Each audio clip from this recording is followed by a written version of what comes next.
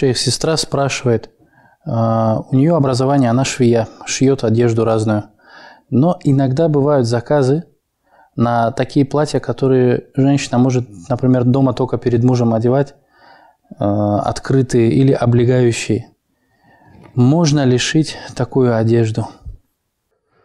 Бисмиллах, альхамдулиллах, вассалату вассаламу аля расулиллах.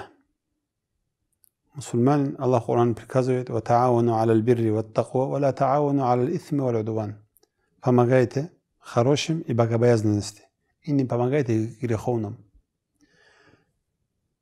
Если это одежда, которую она сейчас говорит, э, облегающая одежда, это она шьет, чтобы дома перед мужем одевать, проблем это можно шить.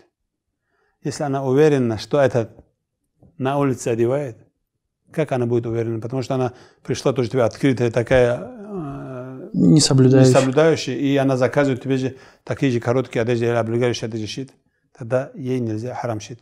А если ты сомневаешься, потому что пришла такая, тогда можно, но нежелательно. А если ты уверен, что она не будет одевать, пришли к тебе сестры и шить одежду для нее дома, чтобы одела, там проблем нету. Аллаху алям.